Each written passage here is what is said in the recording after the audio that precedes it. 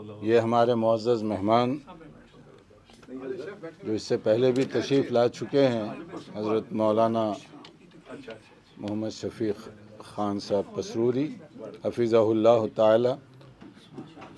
इन ताला हम आइंदा भी इनकी गुफ्तु सुनते रहेंगे।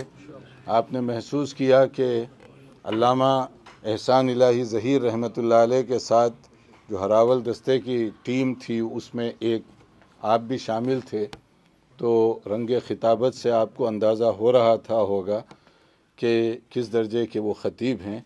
अल्लाह ताला इनकी मसाई कबूल फरमाए, हिफ्ज़ अमान में रखे।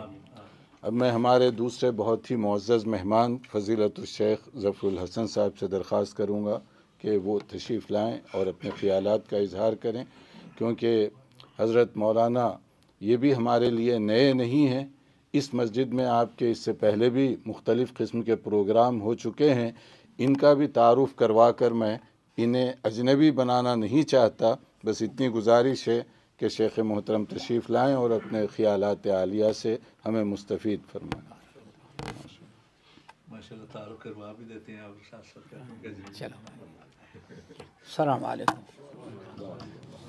बिस्मिल्लाहिर्रहमानिर्रहीम।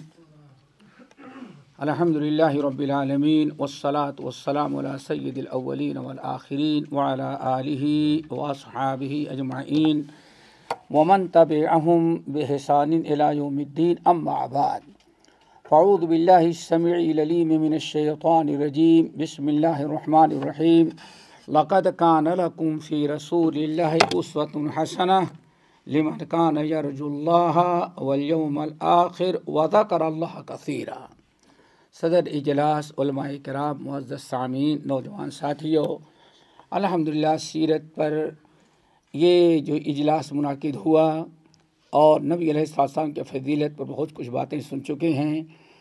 चंद बातें आप हजरात के सामने रखनी है हमें। अल्लाह ताला हमें कहने और हम सब साथियों को अमल करने की तोफ़ी नसीब फरमाए। दोस्तों, ये सीरत अल्हम्दुलिल्लाह एक बहुत बड़ा अमल है सीरत पर सुनना सीरत पर तकरीर करना सीरत पर किताबें लिखना। लेकिन ये सिर्फ़ लिखने और सुनने की नहीं है मामला असल में अमल करने का अपनाने का है ये। कि नबी अलैहिस्सलाम की सीरत हमारे अंदर पैदा हो जाए।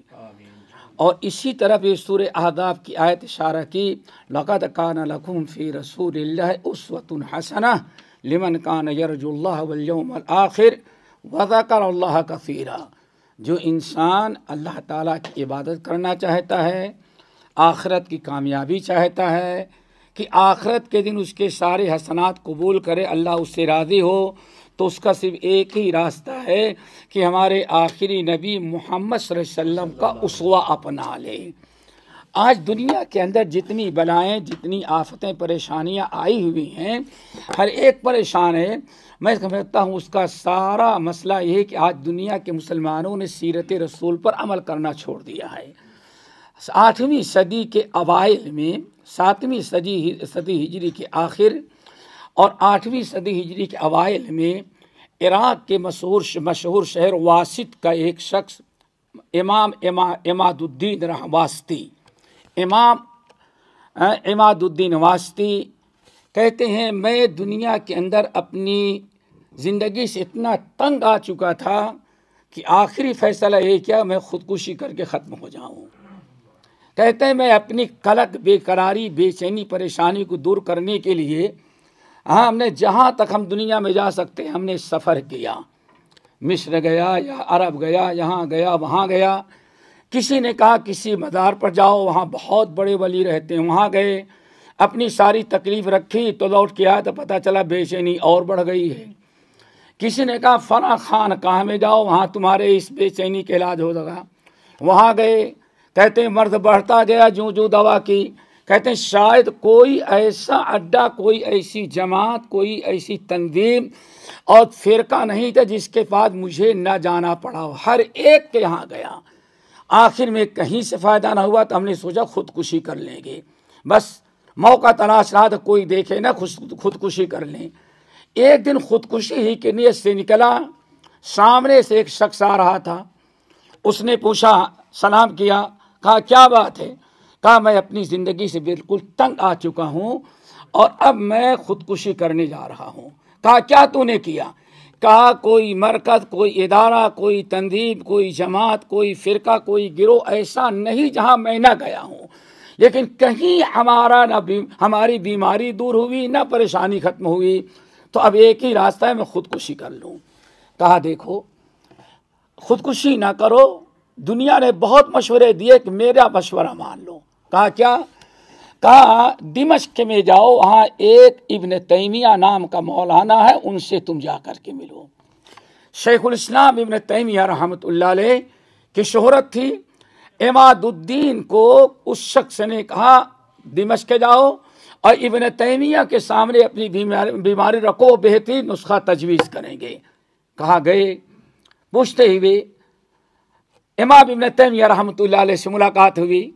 उनसे पूछा, उन्होंने पूछा, कहाँ से आना हुआ?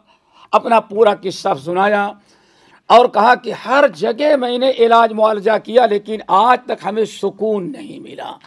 कहा, बस एक बात मेरी मान लो, जाओ, दुनिया की सारी किताबें छोड़ करके कुरान की तिलावत करो और प्यारे नबी के सीरत का मुताला करो। बस जाओ। और कुछ तुम्हें नहीं करना है। जाओ, कुरान की तिलावत करना और नबी वसल्लम की सीरत का मुताला करो। कहा, हमने सब कुछ उसके तजर्बा किया था चला इनकी भी कर लें। कहते हैं, वल्लाह, जब कुरान पढ़ के फारिग होता, सीरत का मुताला करता तो मालूम पड़ता है, कोई चीज़ मेरे दिल से, दिमाग से निकलती हुई जा रही है, और कोई बेहतरीन चीज़ हमारे दिल में आती जा रही है। कहा, नतीजा ये निकला कि एक हफ़्ते में अल्लाह ने सारी बीमारियाँ दूर की ये हो गई। इब्न तैमिया रहमत से इल्म सीखा और आगे चल कर के वक्त का इमाम इमाम इमादुद्दीन वास्ती रहमत बने। कहने का मतलब मेरे भाइयों, सारा इलाज हमारा नबी वसल्लम की सीरत में है। और इसी की तरह वो हदीस इशारा करती है, जिसको इमाम तिरमिदी रहमत ने अपने शमाइल में बड़े तफसील के साथ नकल किया, जिसका एक जुमला ये है, अब मैं तुम पर कैसी भी मुसीबत आए, कितनी भी परेशानियाँ आए तो मेरी परेशानी को जरा याद कर लेना, तुम्हारी सारी मुसीबत दूर हो जाएगी। दूर होने का मतलब समझ, अल्लाह के रसूल तो इतनी तकलीफ़ में थे, हमको तो उसके उसके मुकाबले कोई तकलीफ़ हुई ही नहीं है। तो मेरे भाइयों, सीरत का मुताला होना चाहिए, सीरत पर अमल होना चाहिए, सीरत को सीखना चाहिए। गालबन इसीलिए हमारे असलाफ खुद भी सीखते थे और अपनी औलाद को जैसे किताब की तालीम दी जाए, कुरान की तालीम दी जाए, हदीस की, ऐसे ही सीरत की भी तालीम देते थे। इमाम अबू दाऊद रहमत का बड़ा मशहूर है, साहिब सुनन, जो सियासत्ता की किताब है, इनके बेटे अब्दुल्ला। इमाम अबू दाऊद का बेटा अब्दुल्ला, जो सही मानों में इनका जानशी बना, और इमाम अब्दुल्ला कहा जाता है। इमाम अबू दाऊद रहमत जब हदीस पढ़ने के लिए जाते तो उनकी कोशिश होती कि हर आलिम के पास जाओ, और हर ऐसे मकाम पर जाओ, जहाँ कोई अल्लाह के रसूल ने जंग की है, या कोई आपने सफ़र किया है, कहीं आपने क्याम किया है, वो सारी जगहें हमें मालूम होनी चाहिए। एक मरतबा जा रही थी पैदल चलते थे, सवारी कहाँ तक हँसी थी कंधे पर, सर पर किताबों का गट्ठर था। पीछे पीछे पानी के मशक लिए हुए थे और अपने बेटे छोटे अब्दुल्ला का हाथ पकड़ करके चल रहे थे। और बच्चा अभी छोटा सा था, जैसे वो भारे भाई का बच्चा सो रहा है, छोटा था, ऐसे ही बच्चा था। अब्दुल्ला को पकड़ के लेके जा रहे हैं। अब्दुल्ला रहमत चलते चलते थक चुके थे। लेकिन इमाम अबू दाऊद रहम नहीं कर रहे थे। सर पर किताबों का गट्ठर है, हदीस का नुस्खा है, पीछे मशक का पानी भरा हुआ है और हाथ से पकड़ के चलते तो उसको घसीटते जा रहे हैं। सामने से कोई इंसान देखा, आया, कहा, हज़रत कौन है? कहा मेरा बेटा अब्दुल्ला है। कहा, इसको इसको माँ के पास छोड़ दिए होते। क्या ज़रूरत है इस छोटे से बच्चे को? इतना आप घसीटते जा रहे हैं या तो गोद में उठाएँ, और गोद में उठा नहीं सकते। किताबों का गट्ठर है मशक है पानी का, सारी मुश्किल कैसे अब उठाएँगे? इसको पैदल घसीटते जा रहे हैं। इमाम अबू दाऊद रहमत ने कहा कि आपसे ज़्यादा हमको अपने बच्चे से मोहब्बत है। दुआ करो, यही चीज़ हमारे अंदर पैदा हो जाए दोस्तों। हमने इसको छोड़ दिया। हमने बताया कि हालत ये है कि दिल्ली के अंदर एक इंटरव्यू लेना पड़ा हमें लड़कियों के स्कूल में। तो मालूम पड़ा कि जितने इंडियन हीरोइन लड़के, और इतने सबका नाम याद है, लेकिन अदवाज मुतहरात और बनात रसूल का नाम नहीं याद है उसको। ये हमारी बदनसीबी है। जब मैं कहता हूँ, अल्लाह हमारा हाल दे, हुक्म होता है कि अपना नाम है आमाल दे। जब नबी की ज़ात से नबी की सीरत से नबी की उल्फत से मोहब्बत से इस कदर हम बेगाना रहे तो मुसीबत तो आनी ही आनी है। अल्लाह अकबर। इमाम अबू दाऊद ने कहा भाई आपने मशवरा दिया अल्लाह खैर दे। बेटे के इस तकलीफ़ का दर्द आपसे ज़्यादा मुश्किल है मेरा बेटा है। तो कहा क्यों नहीं माँ के पास छोड़ दिए? कहा बात असल है बेटा छो, अभी छोटा है। हमारे बहुत सारे बड़े बड़े उलमा हैं मुहदसिन हैं। हम चाहते हैं कि अभी हमारा बच्चा हमारे साथ चले बड़े बड़े उलमा से मिल करके कम से कम दुआएँ ले ले, कुछ बातें सीख ले। अगर हम इंतज़ार करेंगे बच्चा बड़ा होगा तो कहीं ऐसा ना हो हमारे इस दुनिया से चले जाए और हमारा बेटा उनसे मुस्तफ़ ना हो सके। ये इंसान को फ़िक्र होनी चाहिए, सीरत के मामले में। लगत खाना लगून फ़ी रसूल उसवतुन हसना। इसीलिए ये सीरत जो जमा की गई ऐसे नहीं। मुहदसिन वल्लाह, मशक में पानी लेते मोहम्मद इबन शहाक इबन शाम वाकदी। ये सारे लोग इस कदर आगे चलते, मेहनत करते सीरत जमा करने के लिए कि जहाँ जहाँ जंग हुई थी वहाँ जाते, गाँव के लोगों से मिलते। फिर कितना लंबा है, कितना चौड़ा है, कहाँ जंग हुई थी, कहाँ खेमा लगा था इन तमाम चीज़ों को पूछ करके इकट्ठा करते, इकट्ठा क्यों किया था दोस्तों? ये सारी कुर्बानी इसलिए दी थी कि हम लोग आने वाली नस्ल, ऐसा ना हो। जैसे हमारे शेख ने बताया, दुनिया के अंदर किसी ईसाई से पूछो तो शायद ईसा की पैदाइश भी सही तरीके से ना बता सके। दुनिया के अंदर, अब हालत क्या? दुनिया के अंदर। हमारे यहाँ अजमान में, हमारी तारीख नदानी से बैठे हुए कुछ हमारे यूपी के थे। एक हमारे साथी उन्होंने कहा, भाई, ये देखो, अल्लाह के रसूल की मानो रसूल के किताबुल्लाह के मन सुन्नत रसूल पर चलो, किताब सुन्नत की दावत दी।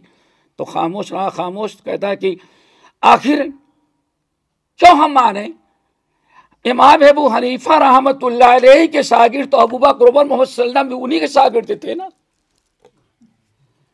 यानी इतनी बड़ी जहालत, कहता क्या है? कि आखिर अल्लाह के रसूल के उस्ताद भी तो अबू हनीफा रहमत थे। अबू बकर मोहम्मद अबू बकर और अबू उमर, उस्मान अली भी तो हज़रत अबू हनीफा ही से इल्म हासिल किए थे। जब इतनी ज़्यादा लाइलमी हो, सीरत रसूल से, सीरत अम्बिया से, सीरत सहाबा से तो मेरे भाई, मुसीबत तो आनी ही आनी हमारे ऊपर। हम भटकेंगे इसीलिए आइए, नबी सलाम की सीरत लेकिन फिर बताऊँगा, सीरत अपनाने की है दोस्तों। नबी उम्मिन आयशा रदी अल्लाह तला के पास, अबू अब्दुल्ला अल जदली आए। इस सुनन की रवायत है। अबू अब्दुल्ला अल जदली आए। अब कहने के यार कहने लगे कि या आयशा, या अमीर उम्मुल उम्मुल मोमिनीन आप ज़रा अखबीरीनी नबी इस्लाम की तरह सीरत के बारे में बताए आपका अखलाक कैसे थे आपका किरदार कैसा था अनखुल के रसूल सल्लम जो हमारा मधु अखलाक रसूल अल्लाह के रसूल के अखलाक ज़रा बताएँ तो दो चीज़ें हैं एक तो ये मेरे भाई कि नबी उम्मुल ने कहा अमा तकरा ऊन कुरान क्या तुम लोग कुरान की तलावत नहीं करते कहा क्यों कहा कि काना खुल को अल कुरान। अरे नबी के सलाम के अखलाक क्या पूछते हो? पूरा कुरान नबी सलाम का अखलाक। क्या मतलब? चलता फिरता अगर अमली तौर पर तुमको तीस पारे का कुरान देखना है तो मोहम्मद वसल्लम की को देख लो। ये थी सीरत। एक रवायत में आया सुनने से कुबरा की रवायत, कि फिर हज़रत आयशा रदी अल्लाह तला ने सूरत अलमोमिन की इब्तदाई आयात तिलावत की इब्तदाई आयात कद फलामिन अल्लादीन हम फ़ी सलातम खाशून वल्लदीन लगव मोरदून अगर हम यही सात अखलाक जो आपके इन आयात में बयान किए गए हैं कुरान ने बयान किया हज़रत आयशा कहती यही आपके अखलाक थे तो शायद पूरी दुनिया के अंदर एक नया इनकलाब आ जाए किसी जगह मुसलमान मजलूम रहेगा ही नहीं बताइए सबसे पहला अखलाक कदफरहल मोमिनून। और हज़रत आयशा के इस जवाब का मतलब ये है कि सीरत सुनने की चीज़ नहीं है, बल्कि नबी अलैहिस्सलाम के अखलाक सुनने की चीज़ नहीं, बल्कि नबी अलैहिस्सलाम के अखलाक अपनाने और उस पर अमल करने की चीज़ है। कुरान के अंदर हज़रत आयशा ने कहा कुरान पढ़ो। सुर मोमिनून की इब्तदाई दस आयात तिलावत की। जहाँ अल्लाह ताला ने कामयाब मोमिनों को तस्करा किया। फरमाया, कद अफलहल मोमिनून फ़ी खाशऊन। अल्लाह अकबर। सबसे पहला अखलाक यह है कि नमाज़ में आप खुशु खुदू किया करते थे। हमारी नमाजें आज कैसी हैं? हमारी नमाजें कैसी हैं? नमाज़ में खुशु खुदू। हमारे असलाफ क्या समझते हैं? यही अखलाक था, यही अखलाक। खुशु खुदू का। हमारे बाद सलफ ने जब अपनाया तो पूरा हिंदुस्तान का पूरे पर सगीर जो अहले हदीसों से भर गया। बल्कि, अगर गौर किया जाए तो दसवीं सदी हिजरी के बाद, सिर्फ़ बर सगीर नहीं, पूरी दुनिया के अंदर, अगर किताब सुन्नत आम हुआ तो अहले हदीस के अखलाक की बरकत से। और आज हम ही अखलाक वाले ना रहेंगे। पहला अखलाक सलातहिम खाशून हमारे असलाफ की नमाजें कैसे? माशा हम तो जो दिन भर भूले रहते, खड़े हो जाए तो सब चीज़ें याद आ जाती। सब चीज़ें याद आ जाती। और हमारी नमाज़ कैसे होती थी? गर्मी का मौसम था। गर्मी का मौसम है। मौना अब्दुल जब्बार गजनवी रहमत अशर की नमाज़ का वक्त था। बादल छाया हुआ था। आप हजरात जानते अपने, हमारे यहाँ बारिश ना हो, बादल छा जाए, हवा बंद हो जाए तो बड़ी खतरनाक गर्मी होती है। हवस अल्लाह अकबर, अजान अजान असर हुई। अब्दुल जब्बार गदरवी रहमत आए, अल्लाह उनकी कबर को नूरों से भरे और असर की नमाज़ शुरू कराई। सेहन के अंदर, पहले मस्जिदों में हमारे यहाँ सेहन होता तब तो सब, इसी ने सब कुछ ख़त्म कर दिया है। और नमाज़ पढ़ नमाज़ उनकी बहुत लंबी होती थी, बहुत लंबी होती थी। लेकिन अखलाक कदफ़लमिन अल्लदीन फ़ी सलातहिम, नमाज़ पढ़ते हैं तो खुशू वाली नमाज़ पढ़ते हैं। जो सर बसजदा हुआ, कभी तो दमी से आने लगी सदा। तेरा दिल तो सना में आशना, तुझे क्या मिलेगा आज हमारी नमाज़, हमारा अखलाक, अहले हदीसों का। नमाज़ पढ़ाने लगे, बारिश शुरू हो गई। और वो नमाज़ पढ़ाते ही जा रहे। बड़ी लंबी नमाज़ होती थी। बारिश हो गई, बारिश हुई। तंग आकर के एक मुक्तदी भागा। दो मुक्तदी गया दूसरा गया, तीसरा गया, चौथा गया। मुआजिल बेचारा कहाँ जाए? उसकी तो ड्यूटी है। वो कैसे भगे? बस मुआजिन और एक नमाजी रह गया। मौना अब्दुल जब्बार गजनवी रहमत सलाम फेरते थे, देखते हैं सारे नमाजी गायब हैं। पूछते हैं, कहाँ चले गए? कहा कि बारिश हुई और सब के सब चले गए। अल्लाह अकबर। मौला अब्दुल जब्बार गजनवी रो पड़े। कहा अल्लाह अकबर। बारह शुद्ध अब्दुल जब्बार, रा खबर न शुद्ध। काश बारिश हुई, हमारे नवादियों को तकलीफ़ हुई, हमारे नवादी चले गए, हमारे नमाजी चले गए, क़यामत के दिन अल्लाह हमसे न पूछे कि तुम आगे क्यों नहीं बढ़ गए, नमाज़ मुख्तसर क्यों नहीं कर दिया? वल्लाह बारह शुद्ध वह अब्दुल जब्बार रा खबर न शुद्ध अल्लाह की किस्म बारिश हुई लेकिन अब्दुल जब्बार को पता नहीं चला ये नमाज़ थी वल्लदीन उनकी सलात दुआ करो ये नमाज़ हमारी हो यही नमाज़ थी यही अखलाक था हमारा कि यही अब्दुल जब्बार गजनवी रहमत एक ताजिर पता नहीं कलकत्ता से आया और होटल में ठहरने के बजाय इनकी नमाज़, इनकी मस्जिद में ठहर गया। रात को शराब बुझा करके चले गए लोग ऐसा की नमाज़ के बाद। सोने की इजाज़त मिल गई मस्जिद में। सो रहा था एक किनारे। बारिश का मौसम था।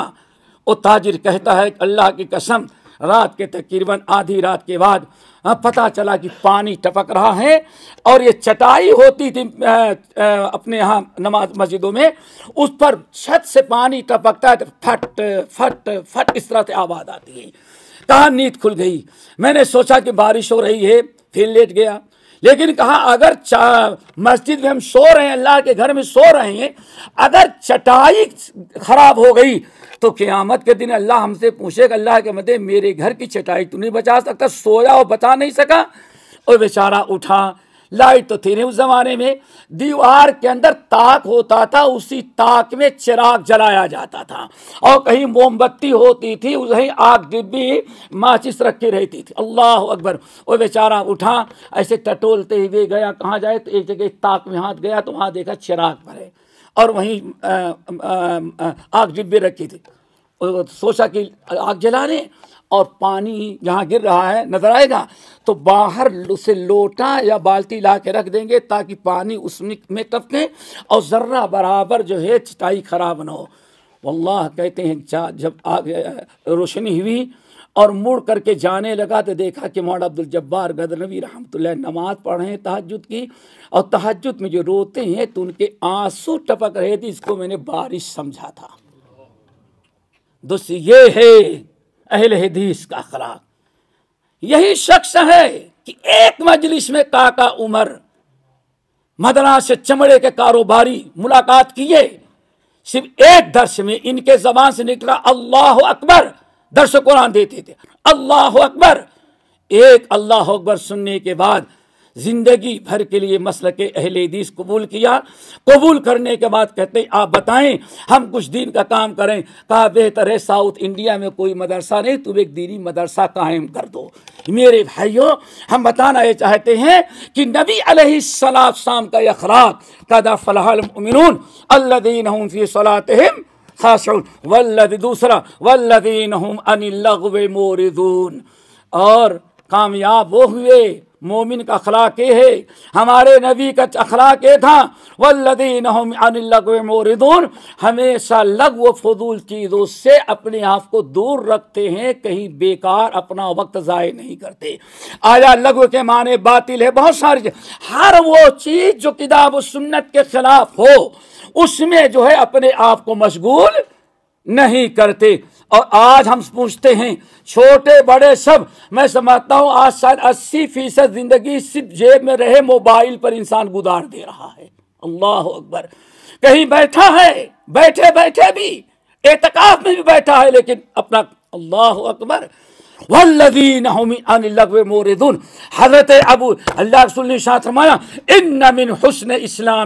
तर्क मारा यानी एक आदमी अच्छा मुसलमान उस वक्त होता है जबकि और चीज़ों से अपने आप को बचाए हज़रत अबू दुजाना अल्लाह तारान हो का बड़ा तवील है इकतसानन ये कि मौत के वक्त उनके चेहरे पर बड़ा नूर था बड़ा बड़ी रौनक थी कुछ लोग इयादत के लिए आए। कहने लगे माँ वजह ही कहता हल्लल अबू तो जाना ज़िंदगी में जवानी से मैंने देखा है और आज बुढ़ापे तक तेरे साथ रहा, लेकिन तेरे चेहरे पर ऐसी रौनक महीने मैंने कभी नहीं देखी थी, जो आज मौत के वक्त तेरे चेहरे पर नूर दे रहे। माँ वजह ही कहता हल्लल अरे अबू तो जाना जरा बताओ, तेरे चेहरे तुम्हारे चेहरे पर रौनक कहाँ से आई? तो कहने लगे, हमारा आमाल, हमारे आमाल तो आमाल हुए जो तुम जानते हो, लेकिन जब से अल्लाह के रसूल को हमने फरमाते हुए सुन लिया कि इन नमिन हुसन इस्लाम इल्मरे तरक हो मारायानी अच्छा मुसलमान बनना है तो लायानी और फजूल चीज़ों से बाद आ जाओ। कहते, अल्लाह की कसम, उस वक्त से लेकर के मैं अपना वक्त फजूल चीज़ों पर कभी खर्चा ही नहीं किया। मुझे यकीन है कि इसी सुन्नत पर अमल करने की बिना पर अल्लाह के रसूल की हदीस सुनी। आपकी सीरत थी, मैंने ठान लिया कि आइंदा हमें फजूल चीज़ों में नहीं पढ़ना है।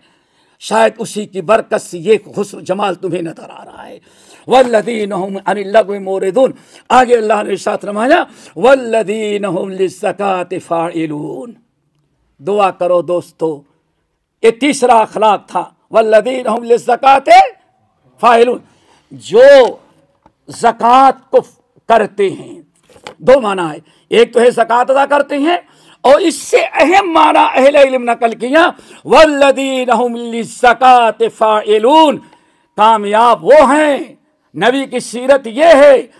कौन नबी की सीरत पर हैं? जो अपने आप को ऐसा अमल करते हैं जिस अमल के ज़रिए उनके नफ्स, उनकी जात, उनका दिल पाक हो जाए। हसद से, कीना से, नफरत से, अदावत से, बुराइयों की दिलचस्पी और मोहब्बत से, कद अफलाह मन तजक्का वदाकर ही फसल्ला कामयाबी के लिए दोस्तों, दिल का पाक करना ज़रूरी। इस दिल में अगर भाइयों के मुतालिक कीना है कपट है, बुराई है, मुनकरात की मोहब्बत है तो ये दिल कभी आपको कामयाब नहीं करेंगे। क्यों? यौमला मालू वला बनून इल्ला मन अतल्लाह कल भी कामयाब होगा, उस दिन इंसान क्यामत की वो कामयाब होगा।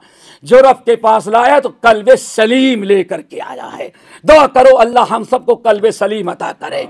और हमें कोशिश क्या होनी चाहिए दोस्तों? वल्लदीन ज़कात फ़ाइलून। कोशिश से करें, वो आमाल करें, जिन आमाल की बरकत से हमारा अमल बुराइयों से, निफाक से, शिकाक से, मुनकरात से, मुहर्रमात से, रियाकारी से हमारा अमल और हमारा दिल पाक होना चाहिए।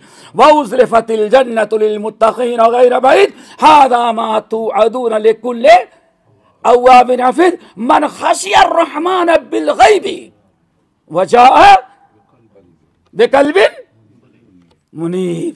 ये दल हो, दिल होना चाहिए। नंबर चार वल्लदीन फ़रोजहिम जो अपने शर्मगाहों की हिफाजत करते हैं। अल्लाह अकबर।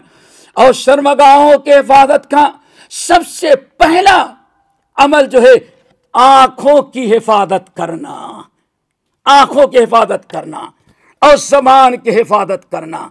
आज जानते हैं, अगर आज इस वक्त मशायक जानते होंगे, शायद जो तलाक निकाह के मसाइल हल करते हैं आज हमने देखा दुबई में रह करके, अगर सौ तलाक के केस महीने के हमारे पास आते हैं तो अल्लाह की कसम उसमें अस्सी फ़ीसद जो है, सिर्फ़ ये टेलीफोन का मसला होता है। बीबी ने शौहर की चोरी पकड़ी है, और शौहर ने बीबी की ख्यानत पकड़ी। अल्लाह अकबर। मेरे भाइयों, वल्लदीन फ़ुरूज हाफिदून, शर्मगाहों की हिफाजत कर करनी है, अपने कान की हिफाजत, अपने आँखें पर। इसीलिए आँख बहुत खतरनाक मंजिल तक पहुँचा देती है। अरबी शायर कहता था फ़नदरतुन शेख है ना? फ़नदरतुन फ़िफ्तसामुन सुम्मा कलामु सुम्मा मौदू सारा चक्कर होता है हरामकारी का। फनदरतुन पहले निगाहें मिलती हैं, कम वक्त कहते निगाह साफ़ हो, दिल साफ़ हो तो निगाहों से क्या होता है? समझिए ना? नज़रतुन सबसे पहले बुराई की इब्तदा आँख से होती है। आँख के बाद इफ्तसाबुन होठों पर ज़रा मुस्कुराहट आती है। मुस्कुराहट के बाद फिर गुफ्तगु होती है। सुम्मा मौदू फिर कहा जाता है फना जगी। इब्तदा कहाँ से होती है? जबान से दोस्तों निगा, निगाहों से। इसीलिए अल्लाह के नबी ने इशात फरमाया सरासतुन हर्रम अल्लाह अलैहिमुल जन्नह तीन किस्म के सरासत हर्रम अल्लाह रहीमुन्नार तीन किस्म के बंदे हैं जिन पर अल्लाह ने जहन्नम की आग को हराम कर दिया है। दुआ करो हम वैसे ही बन जाएँ। उनमें नंबर एक ऐन गलत अम वो मर्द मोमिन या मोमिना औरत का जा रही है जा रहा है, कोई अजनबी मर्द आया या अजनबी औरत, निगाहें नीची कर लिया। अल्लाह ताला के डर, अल्लाह ताला के खौफ से।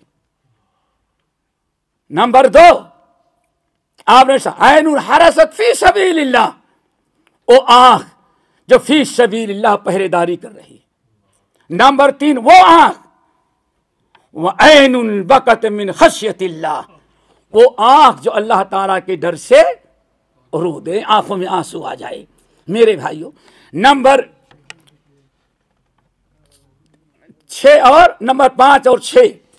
वल्लदीन राउन और जो अमानत की हिफाजत करते हैं। और वादे के नंबर छ न अपने वादे को पूरा करते हैं। अमानतदारी अमानतदारी क्या है दोस्तों? अमानतदारी क्या है? हमारे अमानत का मतलब ये है कि कोई पाकिस्तान जा रहा है, अपनी गाड़ी की चाबी दे दे या घर में देवरात हो पकड़ा दे या कोई भाई अमानत के तौर पर रख रहे अमानत नहीं, ये तो अमानत का एक हिस्सा है। अमानत हर वो ज़िम्मेदारी जो अल्लाह की तरफ़ से, रसूल की तरफ़ से, इस्लाम की तरफ़ से, मस्जिद के जिम्मेदारों की तरफ़ से, मदरसे वालों की तरफ़ से, किसी कंपनी की तरफ़ से, हर वो ज़िम्मेदारी जो आप पर डाल दी जाए, उसी ज़िम्मेदारी का नाम क्या है? चाहे हुकूकुल्लाह से ताल्लुक हो या हुकूकुल इबाद से। ये है दोस्तों अमानत। और आप समझना चाहें, अल्लाह रमाया अलमुअद्दिन पूरे मोहल्ले के लोगों की अमानत मुअज्जिन साहब के गले में है। किसके पास है? क्यों? पूरे गाँव के लोगों ने, मोहल्ले के लोगों ने तय किया, भाई, बारह बज के बीस मिनट पर अदान देना। और भी रमज़ान के हमने ख़ास तौर तो से शहर का वक्त ख़त्म होता है चार बज के दस मिनट पर। तो चाहे इमाम साहब दस मिनट पहले दे के सारे मोहल्ले के रोदा तोड़वा दें, ख़राब कर दें वो चाहे शहर शहर का वक्त ख़त्म हो जाने के बाद शहर खाना खिलवा दें। पूरे मोहल्ले के रोज़े और नमाज़ की बर्बादी किसके हाथ में है? ये अमानत में ख्यानत है। आज सबसे बड़ी बुराई हमारे अमानत में ख्यानत का है। इसीलिए अल्लाह इन लोगों तेईस साल तक ये तालीम इस्लाम जो तुम्हें इस्लामी तालीमत नहीं है हमने तुम्हें दिन सिखलाया तेईस साल तक जिसके लिए हमने इतनी कुर्बानियाँ दी हैं हिजरत की जिहाद किए हमारे साहबा शहीद हुए क्या क्या नहीं करना पड़ा आने फरमा इस तेईस साल ज़िंदगी में जो कुछ हमने फैलाया है, उसमें से सबसे पहले जो चीज़ तुम छोड़ोगे, वो अमानत में ख्यानत होगी।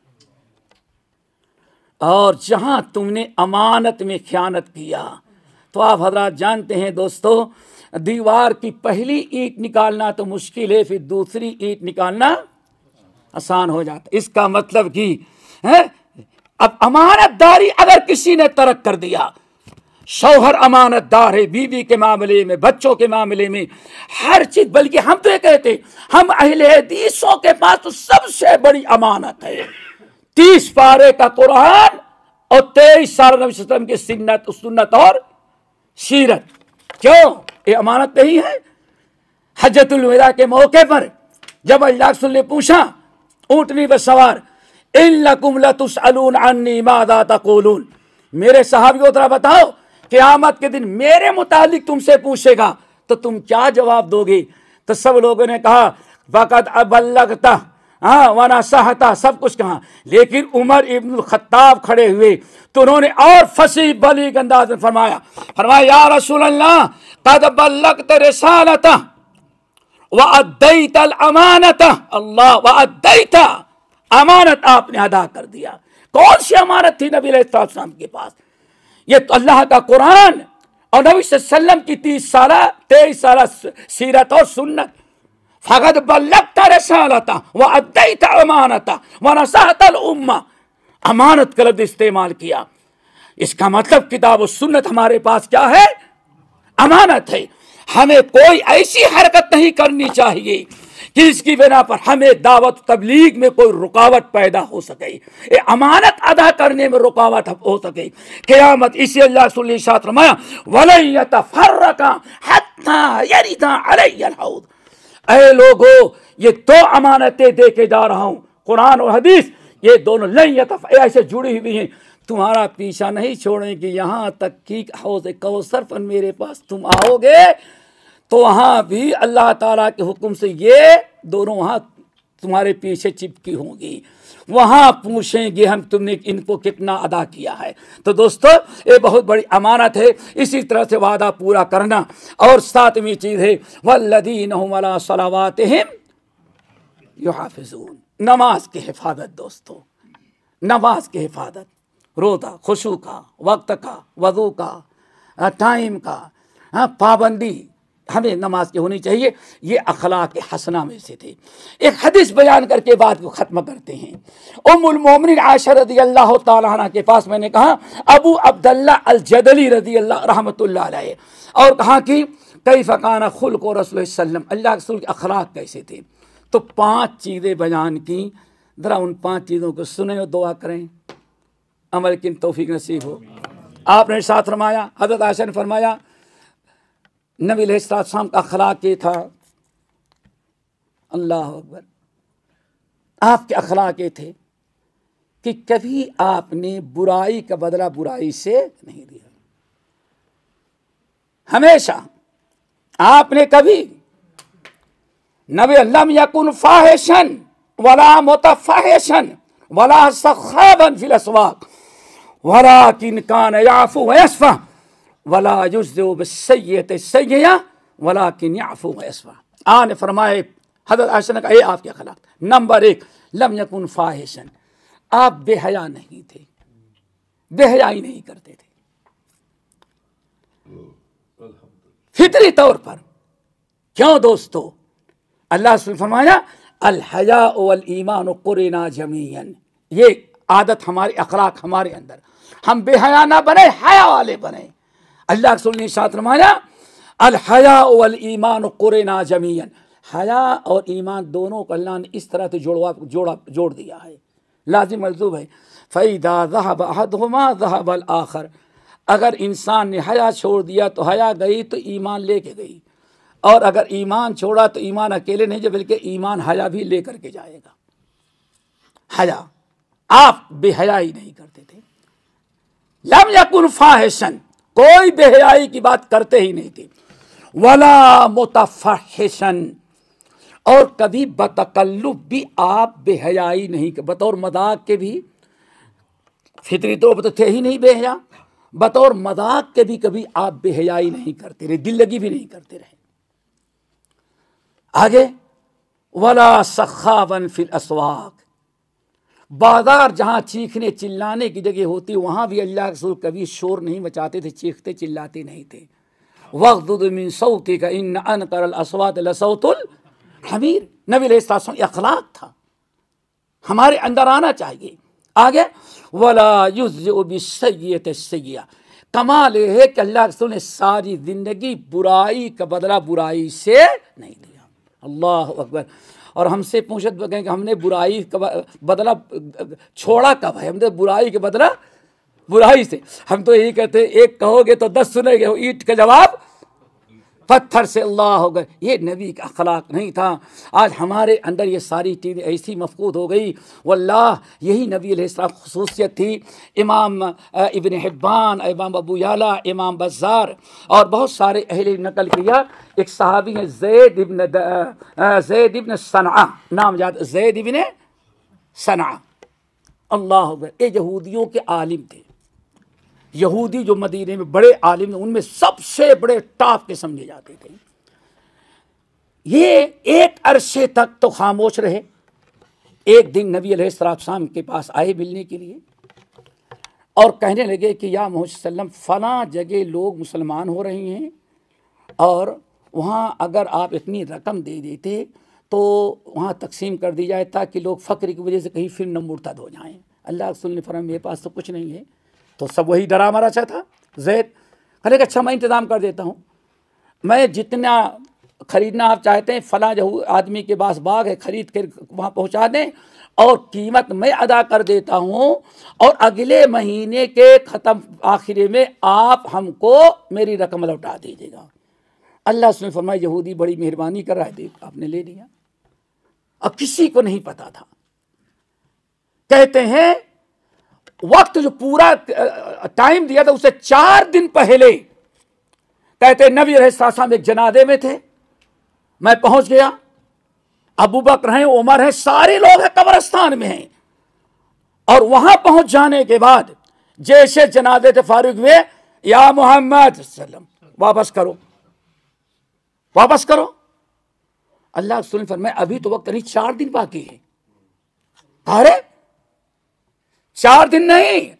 आप बताओ, मैं तुम्हारी भी हकीकत जानता हूँ, तुम्हारे बाप अब्दुल्ला की भी जानता हूँ, तुम्हारे दादा अब्दुल मुत्तलिब को भी जानता हूँ, और तुम्हारा चाचा जो था अबू तालिब, इनकी हकीकत भी जानता हूँ। ये सब तगाबाज मक्कार थे। जिसने, जिसका लिया इन्होंने, ज़िंदगी में रिकॉर्ड है कि कभी वापस नहीं किया। लेकिन आज मुझसे पाला पड़ा, मैं सीने पर चढ़ करके वसूलूँगा अल्लाह अकबर। अब अल्लाह के रसूल के सामने ऐसे और बाद रवायत में आकर के ये पकड़ लिया। अब अब अबू बकर वहाँ से दौड़े, अल्लाह रसूल ने रोक दिया। उस्मान दौड़े, रोक दिया। अली दौड़े, रोक दिया। लेकिन उमर इब्न खत्ताब कुछ नहीं देख रहे, रोक रहे हैं, क्या आकर उठा के दे मारा मारा घूसा, गिरा उसके सीने पर चढ़ गए। अब खूब अच्छी तरह धुलाई शुरू की। फिर वह मार रहे उमर इब्न खत्ताब। हज़रत मोहम्मद कहते हैं, उमर दा हो जा, उमर उमर छोड़ दो, उमर छोड़ दो। और वो उमर को कुछ नहीं कह रहा है, गालियाँ अल्लाह के रसूल को दे रहा है।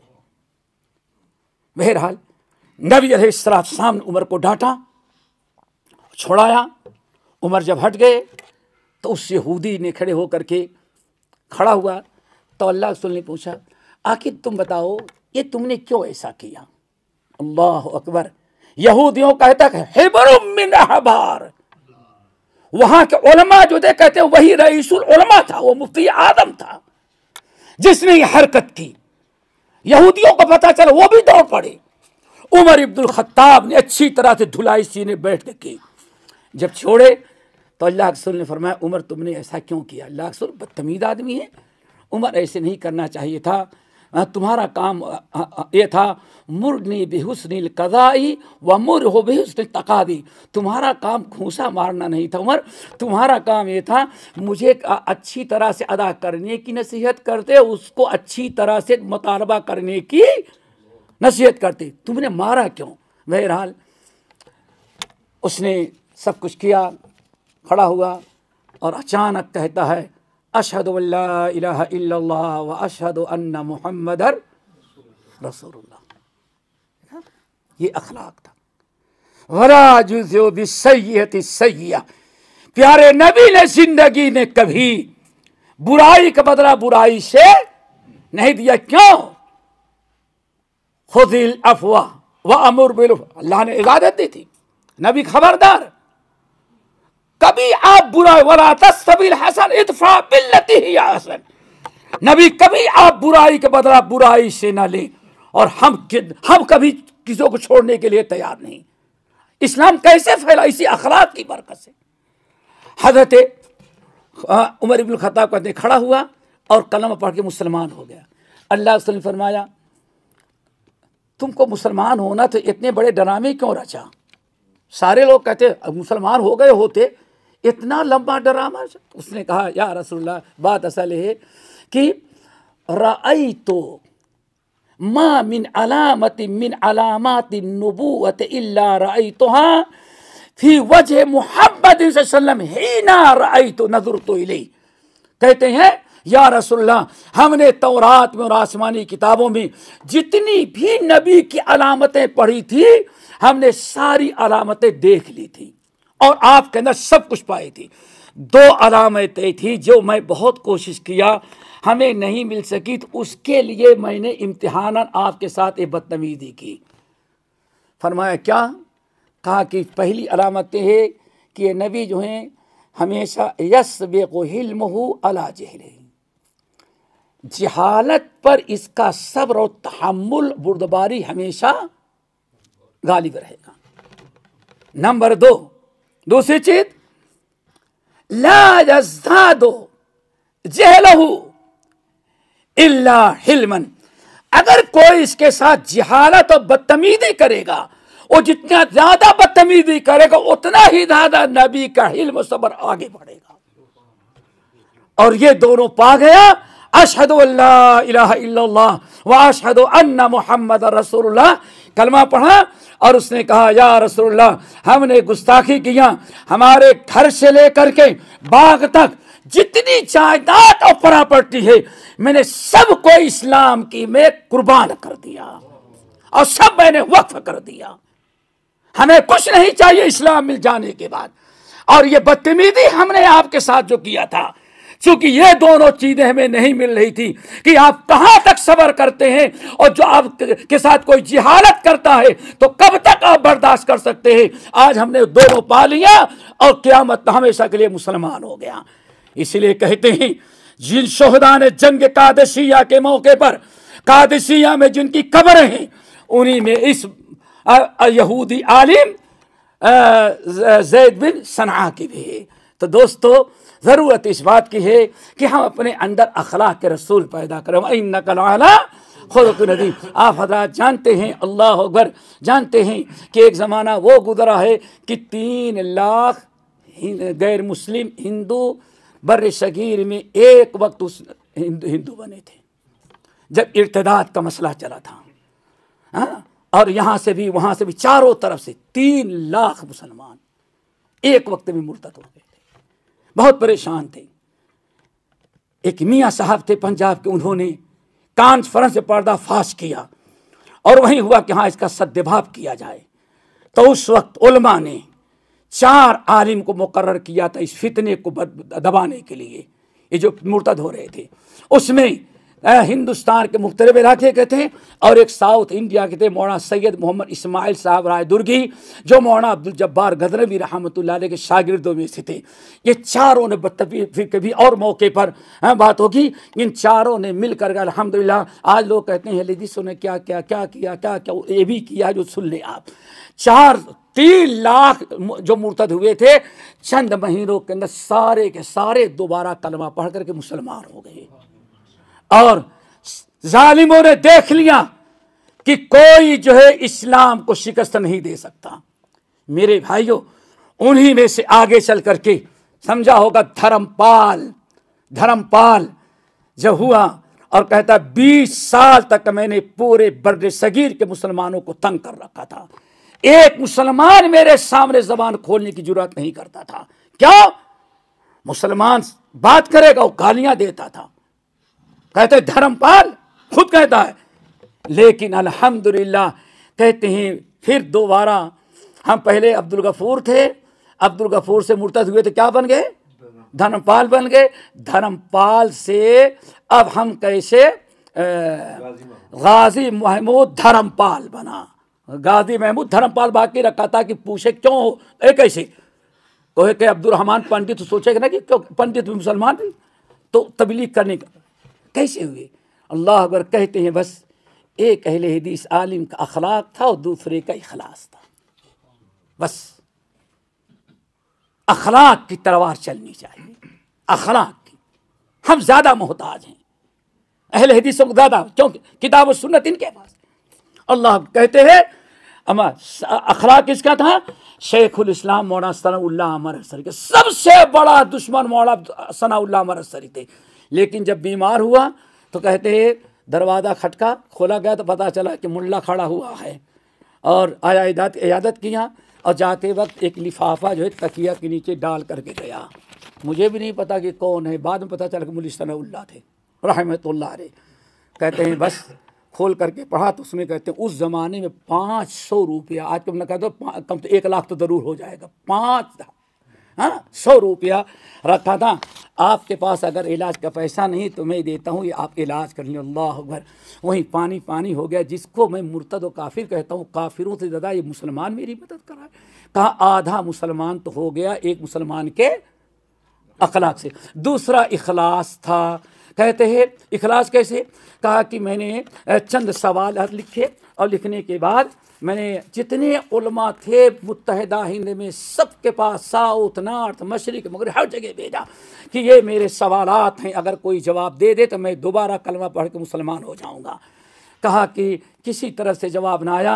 कादी सुलेमान साहब, सलमान मंसूर पुरी रहमतुल्लाह हैं, जो जज थे, कहते हैं, वो अपने घर से निकले थे, रास्ते में पोस्ट मैन मैन मिला और धर्मपाल का वो सवालनामा पेश किया लेटर दिया, खोल के पढ़ा तो लिखा था, अगर आप मेरे इन सवालों को कोई जवाब दे दे तो मैं दोबारा मुसलमान हो जाता हूँ।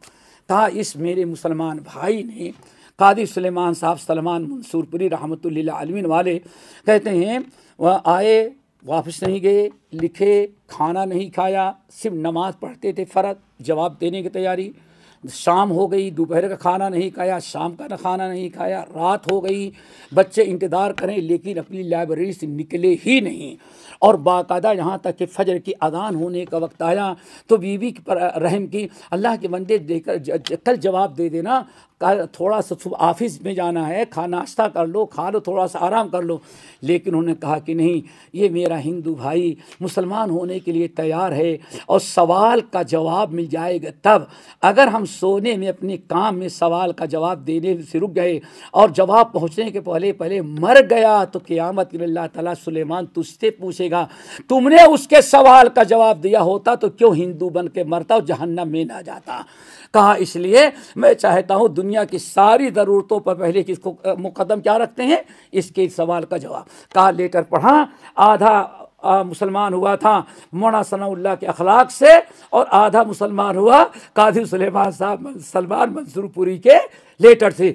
और इन दोनों के, की बरकत से कहते फिर दोबारा मुसलमान हुआ, और नाम रखा अब्दुल गफूर गाजी महमूद धर्मपाल, अल्लाह अकबर।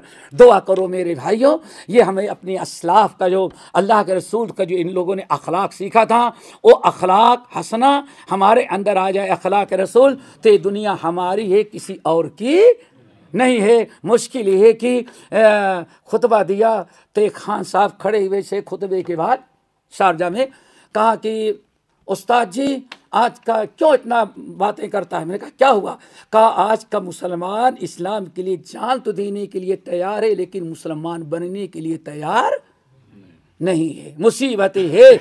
हम सब कुछ कुर्बान करने के लिए तैयार हैं, लेकिन अपने अंदर इस्लाम आ जाए, हम इसके लिए तैयार नहीं है। ज़रूरत है। हम तैयार हों, हम तैयार हों। अमली तौर पर अल्लाह ताला के अमली मुसलमान की ज़रूरत है, वरना बुझी इसके की आगे अंधे रहे, मुसलमान ही राख का दे रहे। अल्लाह ताला हम सब के अंदर अखलाक हसना पैदा कर दे और वसल्लम का सच्चा वारिस बनाए। अकुल को लिहादा वा सफ़िर मिन कुल्ल दम